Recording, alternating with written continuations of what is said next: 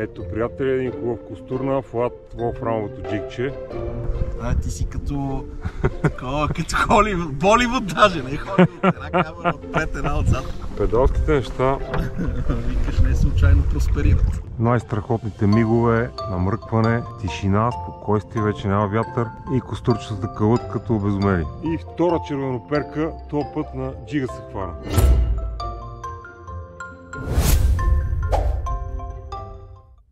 Айде да видим са, за да се вте да го сваля сам по го сам.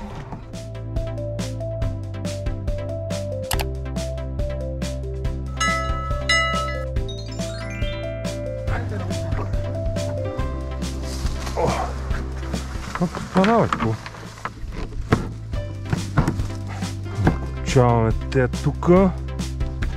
Така.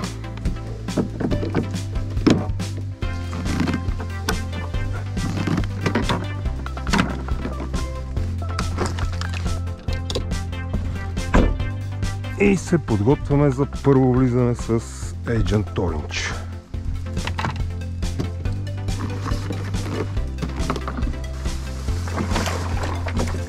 Ей, аз греблото забравих, бе. Му майката. Абе, на педалите не трябва да се разчита, трябва да си имаш гребло, защото... И първо влизане, малко го свиних, даже не много малко, доста.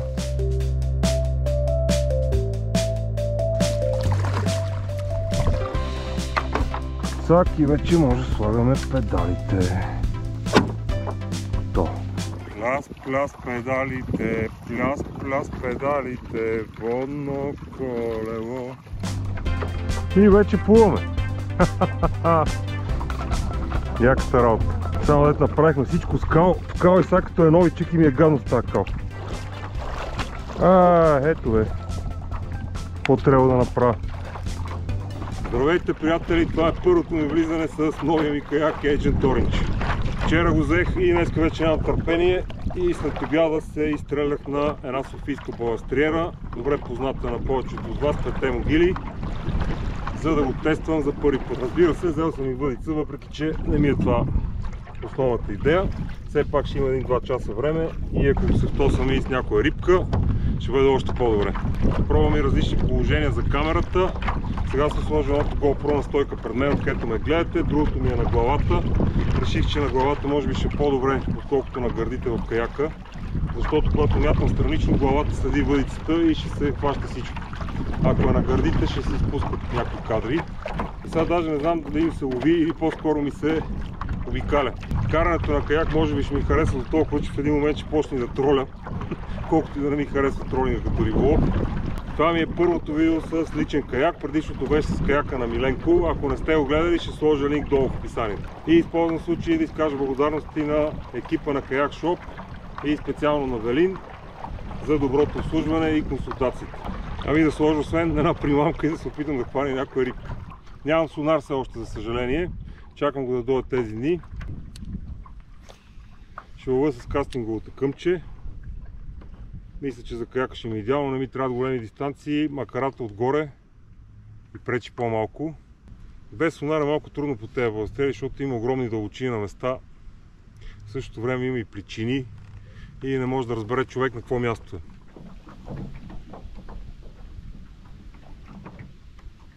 И първото костурче. Първото костурче на малко на пипилонг.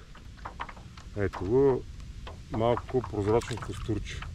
Моделът на каяка е Hobby Mirage Lynx. Това е най-лекия модел. Теглото на дъската с сваленото оборудване е 2,20 кг и мога да го нося сам. Нещо много важно за мен, понеже имам проблеми с кръста, имам дискова херния. О, пак удари. Ето го. Следващо костурче. Отново на пипиринчето. Доста бебешко. След време, когато вече придобия повече опит, повече излети с този каяк, може да му направя едно ревю, ако има интерес. Оп, още едно костурче. Качи ли се ръгат? Е, тук имаме толкова мъничко, че Ето го на Волфрамовото джикче.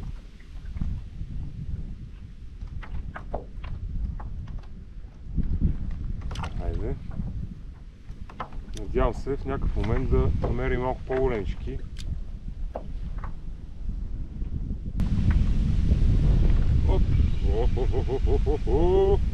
Това дали не е малко по-хубавичко. Същата работа. Ето го отново на джикчето. На волфрамовото джикче. Оп! Ето го костурчето. Много бебешки обаче. Прекалено бебешки са тука. Хубав. Малко по-хубав.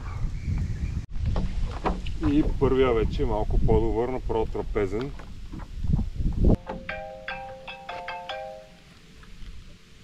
Ало? Еми малки да, е, тук сега съм застанал, ако се сещаш там до тази машината, дете имаш един плиткаш и имам много малки.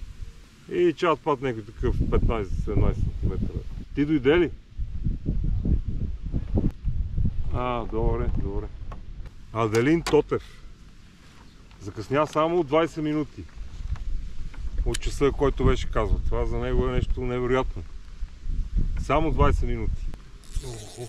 Охо, охо, охо, хубав. По-хубав ли е или за корема някой съм изтрескал? Малко по-хубавички. Малко по-хубавичък. Опа, тук има много риби. Много риби има е тук. Много риби. Не дава да метнеш. Два наведнъж, ето, приятели, вижте са. Дубълче. Две костурчета наведнъж дубълче. Едното на Rainside Jadder, другото на пилкерчето Savage Gear Flat. Волфрамово много добро за вятъра, много добре потъва, покрива дълбочини. И в плиткото работи. А, слънчук. Някакво хванахме един слънчак, уставно за устата. На Данчо 3 грама. А сега, приятели, ще пробвам нещо много важно. Ще се опитам да пикая от каяка прав. Разбира се, това няма да го снимам. Останете с мен до края, ако видеото не продължи, иначе съм паднал. И получи се пикането. Не можах да падна, препиках го малко, но ще го измия на излизане.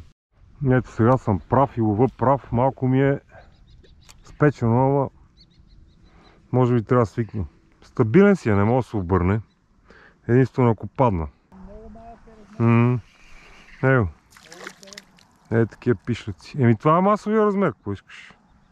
По тези софийските геове това е масовия размер. И този на джикчето. Как налапа тази голяма тройка цялата, не знам.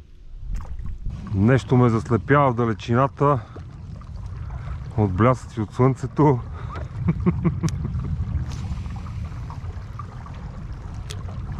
Има ли, колега, има ли? Стана каякар и ще минеш през блокнота, те му каякар. Супер е. Педалските неща. Викаш, не случайно просперират. На там ли в плиткажа? Е, там има ривия, там къде е дрого. Е, от тук на там, тук където вихме преди. много странно, че Ама са ситни. А, ти си като... Такова, като Холивуд, Боливуд даже, не Холивуд. Една камера отпред, една отзад. Е, бали го, е, аз по-натам не съм ходил, е там фанах 2-3 до страна. Беха такива единични.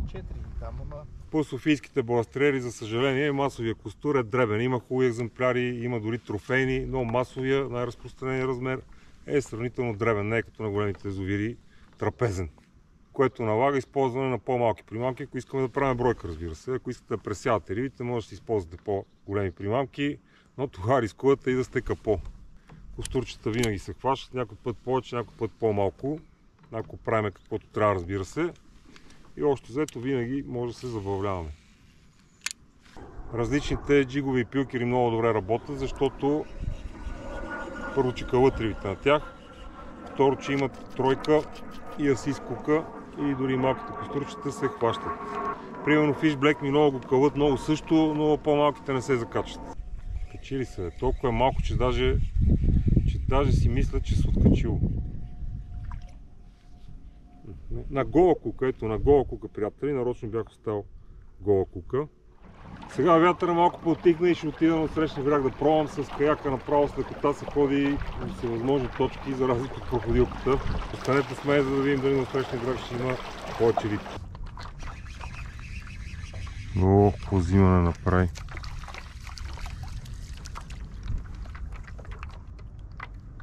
О, и хванахме нещо по-добро. Добър костур. Добър костур на джипчето. Направо си голям. Я, я, я, бабачко. Я, ба, бабачко. Като за спрямо до сегашните е много, много добър. Ето, приятели, един хубав костур на флат в рамовото джикче. Е такива да излизат гъсти, ама за съжаление са редки. В тези места. Айде, приятел, да растеш още и пак да ни ме радваш. И първото неприятно нещо, което стана е падна ми кокера във водата, заедно с ретрактора, който беше закачен прекалено леко за джоба. Не е проблем, имам кохери, но трябва да си обезопаса всички неща с телефонни кабелчета и ретрактори, за да няма такива бели. Дори кутиите може би трябва да си обезопаса и бъдите също. И поредният дръбак на муха. на джикчето, като че ли се хващат, ма една идея малко по-добри. Най-страхотните мигове, намръкване, тишина, спокойствие, вече няма вятър и костурчетата кълът като обезумели.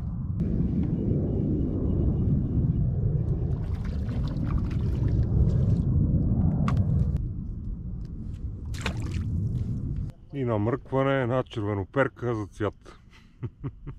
И втора червеноперка, този път на джига се хвана. Тук на същото място. А, Гадна. Едната се фана на джига, другата на мухата. Две поредни мятане, две червеноперки. Ето, той е толкова е това да ловиш, те костурите са много древни човек. И сега на мръкване, какво стана тук? Четири червеноперки извадихме една след друга. Очаквайте много нови видеа с каяка Agent Orange. А до тогава гледайте тези, които ви се показват около мен. Бъдете здрави и до скоро!